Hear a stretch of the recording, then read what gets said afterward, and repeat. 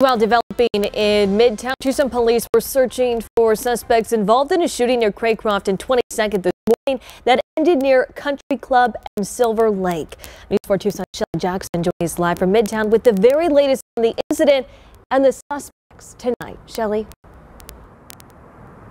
Well, Priscilla, I am live near Country Club and Silver Lake. News 4 Tucson has confirmed the suspects involved in this morning's shooting are in custody. No injuries were reported.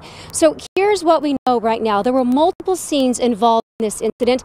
I'm standing in front of the house where the suspects crashed their car. You can see the mailbox is on its side. They rammed into the mailbox and then fled. So this all started this morning. Tucson police say they responded to a shooting in the 1400 block of North Craycroft. They spotted the suspect's vehicle and it fled to this area in Midtown. Now, it was a very large search area earlier today. Both K9 and SWAT teams were called in to help the search. The folks in the area were told not to leave their homes. I was able to talk with one man working at a nearby house about what he saw.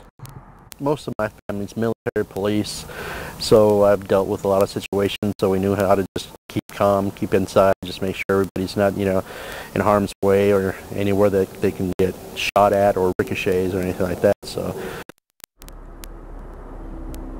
I'm back out here live once again to recap. The police say that the suspects from this morning's shooting are in custody. They cleared the scene about an hour ago. Live from Midtown, Shelly Jackson, News 4 Tucson.